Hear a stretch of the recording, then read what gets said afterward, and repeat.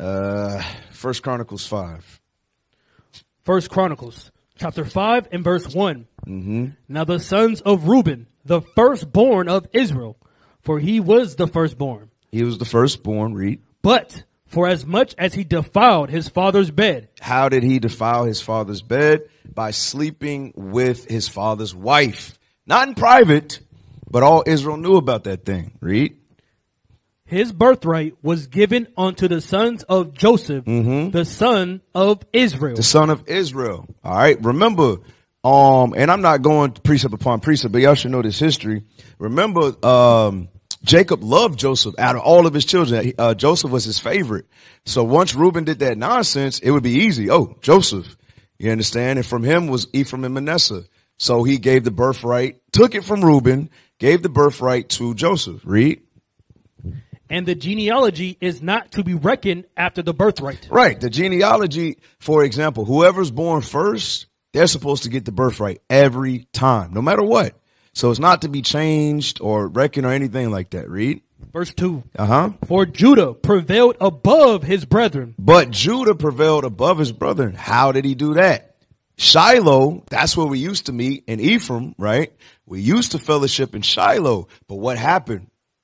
Uh, Jeroboam, he turned the northern kingdom of Israel into idolatry.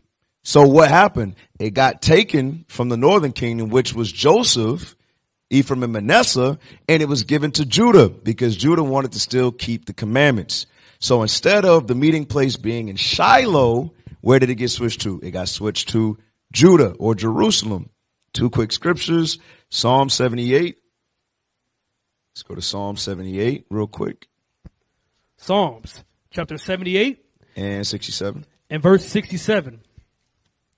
Moreover, he refused the tabernacle of Joseph and chose not the tribe of Ephraim, but chose the tribe of Judah, the Mount Zion which he loved. Read. And he built his sanctuary like high palaces, like the earth which he hath established forever. Now, jump up to verse uh 56. Verse 56. Come on. Yet they tempted and provoked the Most High God and kept not his testimonies. Right. That's the northern kingdom. They provoked God by what? Their idols. Read. Verse 56. No, verse 57. But turned back and dealt unfaithfully like their fathers.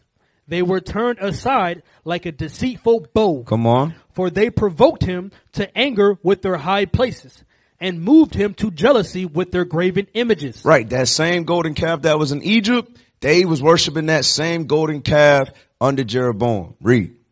When God heard this, he was wroth and greatly abhorred Israel, And greatly abhorred Israel. Read. So that he forsook the tabernacle of Shiloh, That's where Ephraim dwelt. Come on. the tent which he placed among men. Right. Because that's where we used to gather.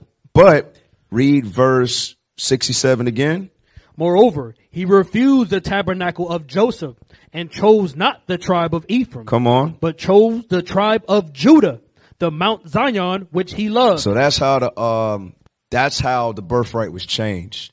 Reuben did his dirt by sleeping with his father's wife in the midst of Israel, and then once it was ta- uh, given to Israel, what happened? They started worshiping idols, and the guy said, "Nope, I'm gonna put my name in Judah, Jerusalem." All right, all right. So we ended right there.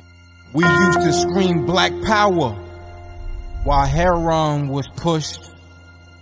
But at the end of the day, nothing's in vain. IUIC has been given a vision. The tents of Judah has risen. Many has attempted the mission, minor murmuring, omitting and missing the mark. Just reading that he had the flame of fire in his eyes gave us the spark. We on Paul's mission. We out on the road, purple and gold, from Mexico, Cuba, Haiti, Ghana, Sierra Leone. 144,000 boots banging, concrete crackling. These are how men repented at heart. The scriptures is proof. IUIC, we deliver the truth.